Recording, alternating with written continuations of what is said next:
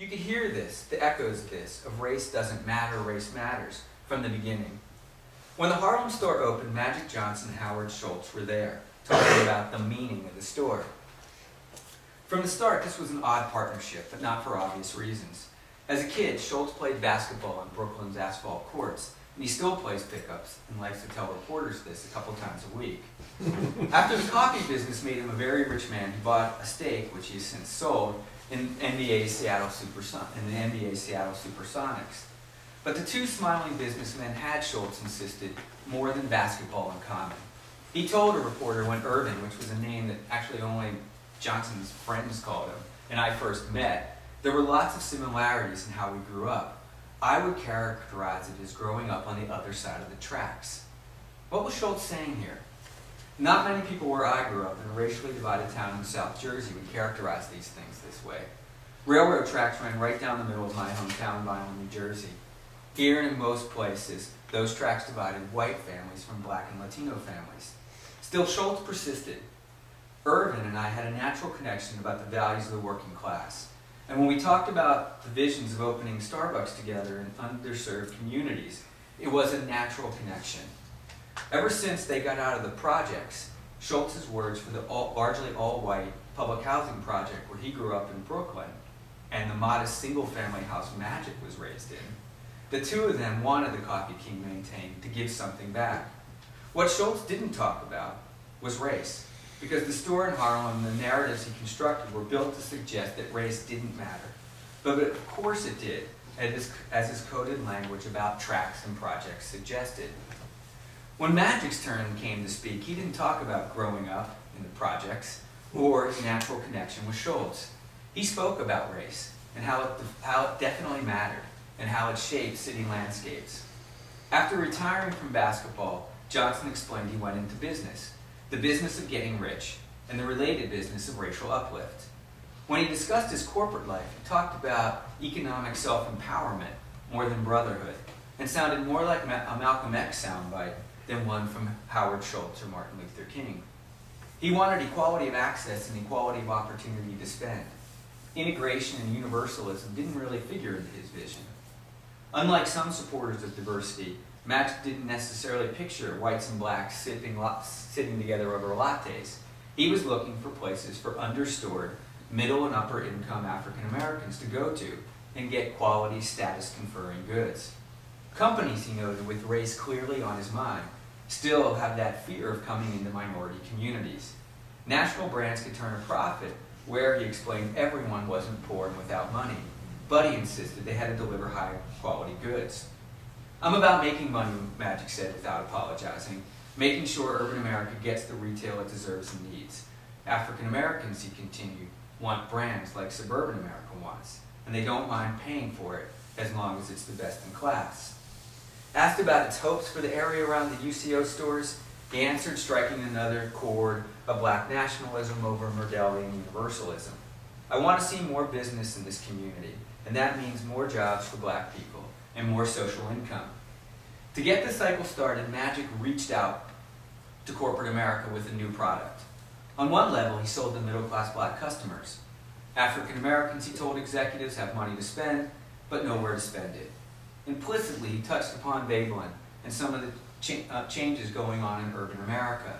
African Americans, he suggested, wanted to show off their growing incomes through a little conspicuous consumption.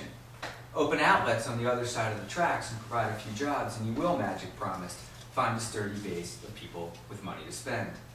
Sony listened, Burger King listened, TGI, TGIF listened if they're still in business, Loews Theaters listened, and eventually so did Howard Schultz.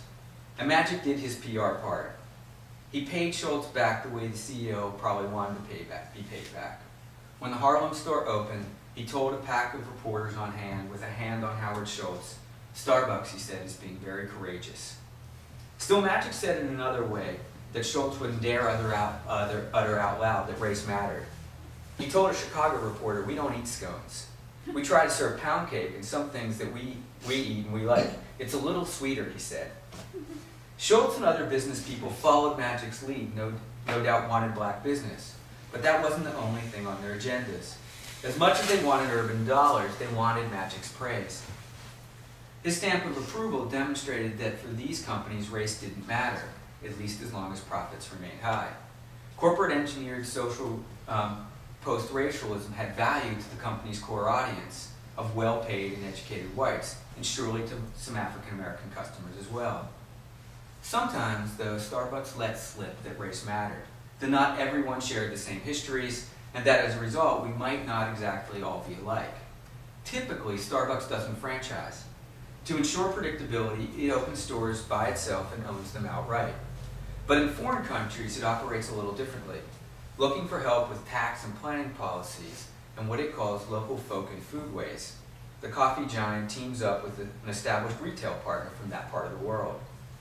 The one U.S. exception to this rule is the UCO Magic Johnson stores. Starbucks formed a partnership with Magic Johnson, Develop Magic Johnson Development Corporation, presumably paying for its expertise in understanding of how black folks consumed. Through this argument, argument, Starbucks hinted, but of course never said, that it saw inner city black and Latino areas as akin to foreign territories. It was at least a tacit admission that race mattered, that something more than simple prejudice divided us. Even when it attracted middle-class African American customers, Starbucks seemed to be saying it didn't fully know what they wanted. Helped along by the media, many suburban Americans view places like Harlem through the same lenses as Starbucks, as virtual foreign lands. They often imagine the world of urban, the code word that Starbucks and others use for economically distressed black worlds, as not quite civilized, as metaphoric jungles. If the urban world is a world apart, then Starbucks becomes an agent of civilization, bringing the benefits of the modern world to a backward place. How else would a creative class describe a place in 2005 without a Starbucks? The very absence of a Starbucks marked the place outside the mainstream. Opening a Starbucks again means bringing civilization. And this then is something of a colonial narrative that Starbucks is constructing. So Starbucks came to Harlem, to Compton, and Seattle central area to make money. But the stores also represent a gift. A gift, a gift of consumer opportunities and everyday luxury that, give, that the firm gives to people who live in urban areas. To give a gift, you must have something to give. But you get, as the giver, something back as well. In this case, Starbucks gained moral capital by opening in, in areas defined as urban, when not all companies would, as well as the moral capital, capital earned in contemporary America by lending a helping hand and by saying that race doesn't matter. As it made these moves, the company distinguished itself and its customers from other brands, positioning itself as a tolerant yet still successful company that cared about diversity and the promotion of equal opportunity. Here, race matters. Howard Schultz plays his part in staging the race matters, race doesn't matter narrative that Starbucks sells. There's a Starbucks store at the bottom of the CEO's retro Seattle office. There's another one down the street, a couple more only a few blocks away. But Schultz regularly drives visiting journalists a few miles away, going past African American churches and soul food restaurants, to the Starbucks at 23rd and Jackson. This is the part of town where Ray Charles first started to blend pop sounds with gospel and Quincy Jones learned his jazz chops.